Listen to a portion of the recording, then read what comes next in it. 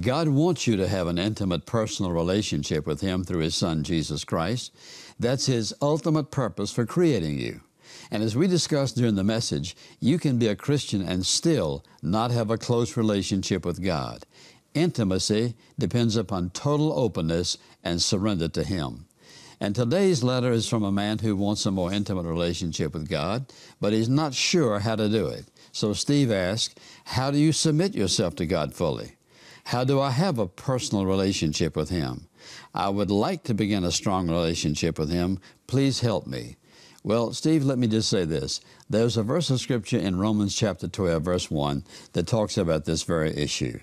Paul said, I urge you, brethren, by the mercies of God, to present your bodies, that's your total being, a living and holy sacrifice which is acceptable to God. Well, first of all, if you want that kind of relationship, it's a choice you make. It isn't something that just happens. Many people have been a Christian a long time and have no intimacy with God whatsoever. It is a definite choice you make when you say in this email, I want to have a personal relationship, an intimate relationship with Him. It is a choice that you're making. You must want to do it. It must be a desire that is strong because there are many things working against that in your life. You say, Well, how do I do that? In your strength, you cannot. It is the work of the Holy Spirit. And remember this Jesus sent the Holy Spirit in order to enable you and me, first of all, to live a godly life, to work in us and through us. And so we have Him to help us with our want, with our desire, with our commitment, with our choice. And so He will enable us as we strive and as we attempt with all of our heart to deal with the things in life that have kept us from having that personal, intimate relationship then the Word of God is so very important because here is where you discover what it means and how to live that godly life.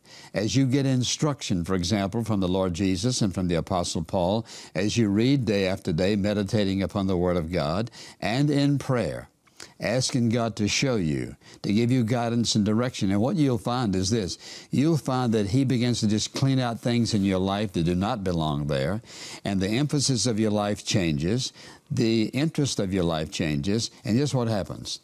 The way that develops is daily as we read God's Word, we examine what's going on in our life. Does this fit? Does this fit? Is this drawing me closer? Is this pulling me away? And so it is a process that you go through. It's not going to happen all at once, but it can be absolutely definite when you say, God, so work in my life that I can have a personal, intimate relationship with you. The cleansing is going to be the first thing that begins to happen. Your interest changes. God begins to draw you into a relationship with Him. And before long, you'll realize something has really happened in my life. Well, that's all the time we have on In Touch this week, and we're glad you joined us. I trust that the Holy Spirit will draw you into a deeper, more intimate relationship with Jesus throughout 2010. Today's message was the beginning of our in depth study of the 30 life principles. We'll continue next week with Life Principle 2. It's one that you're probably very familiar with, and that is obey God and leave all the consequences to Him. That's the only way to enjoy life at its very best.